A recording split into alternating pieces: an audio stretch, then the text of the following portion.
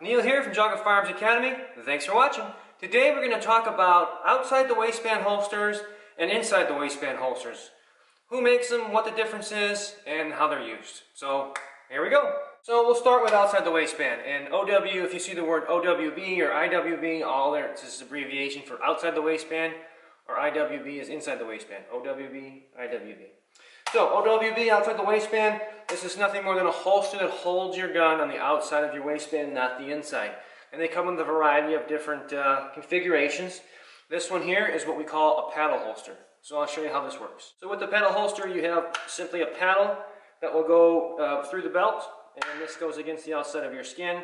You can also have a belt slide. I greatly prefer belt slides over paddle holsters.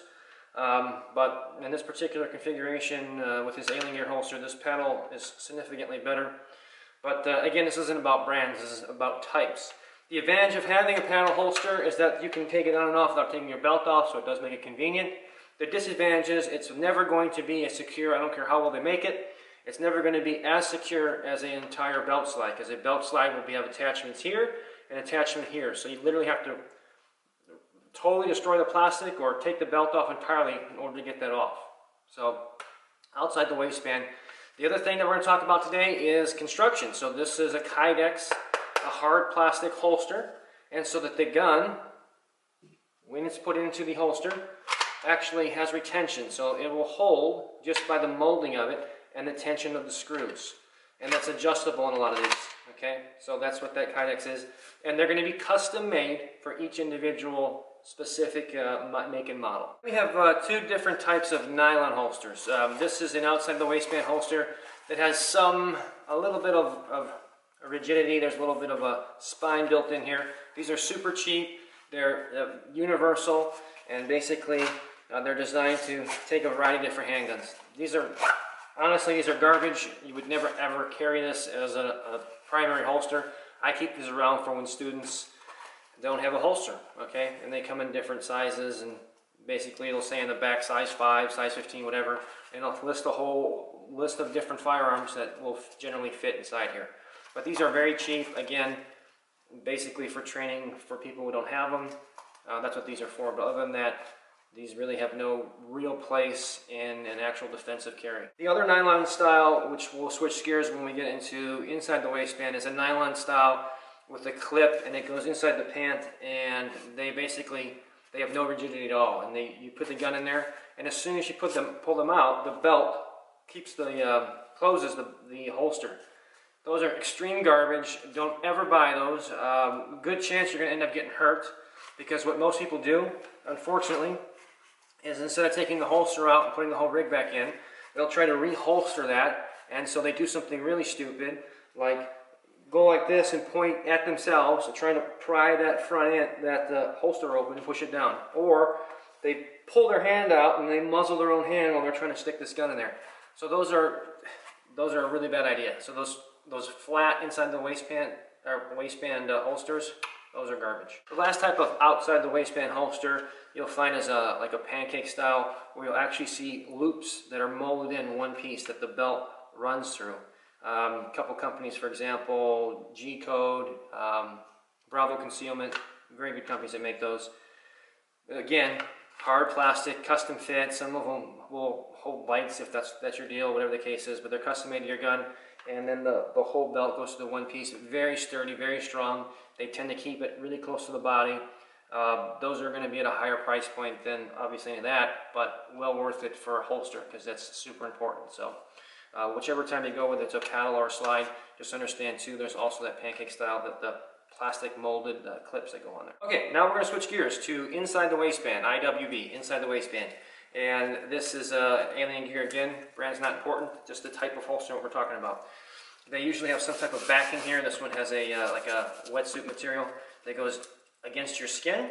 And then the belt is actually going to run between these, uh, in this case, these loops, and it goes around the holster. So I understand there's a lot of confusion how these actually go on, how they fit, so let's, uh, let's show how that works. All right, so the way this works, you're going to loosen up your, uh, your belt and your pants here. This goes on the inside, inside the whole deal, except for these, these loops, okay? So the first loop, we're going to loop that around the belt. Second loop, we're going to put this guy on. goes in the back. Okay. And then we're going to snap this guy on. Okay. Once your holster is secure, then you can go ahead and, and put your firearm in there. Holds it nice and tight to the body. Very, uh, very good for concealment. So then what I would do next, if I was just going to wear a t-shirt, and say it was hot outside or something to that nature, well, we would uh, take our, our uh, t-shirt out here. Oops. I got caught in the holster. And there you go. We wear this out. And now I've got my concealment deal here. Okay. And then when I need to, of course, I can still access my firearm uh, when I have to. So again, I've said this in previous videos, but uh, I highly, highly suggest you guys get some type of button loop, some type of closure that goes around the belt rather than those plastic metal clips. Because I know from experience, those the whole holster will eventually come out. It will happen. So get the clips that uh, go loops. I'm sorry, that go all the way around the belt. Uh, the other nice feature about these, other than being excellent for concealed carry, is that obviously we can simply un, un, uh, unhook or undo our buttons back here if you have a loop style.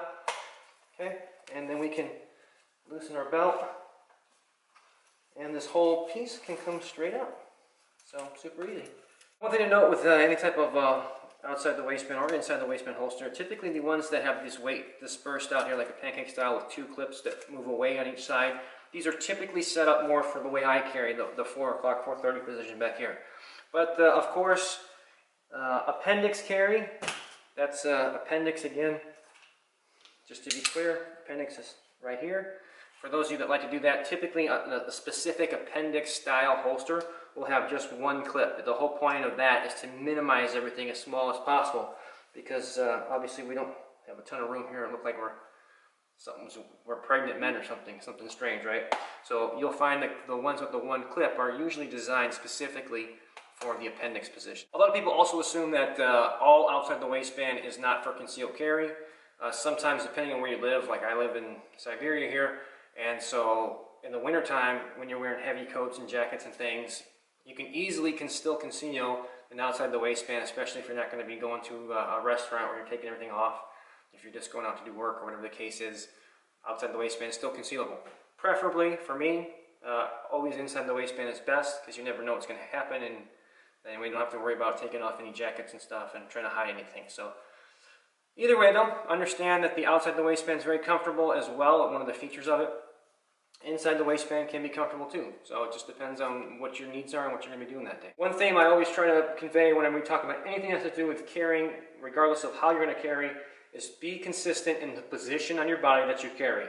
You don't want to train and get a thousand, two thousand, ten thousand repetitions at a four o'clock position, and then you carry appendix. Obviously, when shit hits the fan and you just have to react, you're to go for your gun is not. So pick a position, stay consistent with it, and train with it. Alrighty guys, I hope you enjoyed that one. Hope you got some good tips out of it. If you did, go ahead and give me a thumbs up. I always appreciate that. If you haven't already, go ahead and subscribe and you'll be notified every time I put out a new video.